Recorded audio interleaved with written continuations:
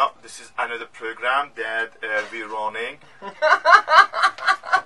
the same day. They are not taking second take. Okay. this is Uh, I do remember, like you know, most of these, like you know, that was that that term noise for like describing the mall music was kind of a joke.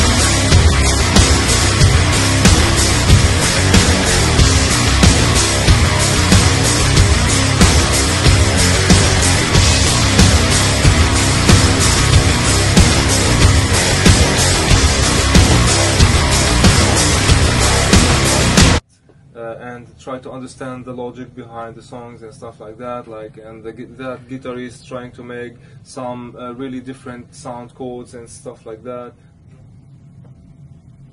That was good.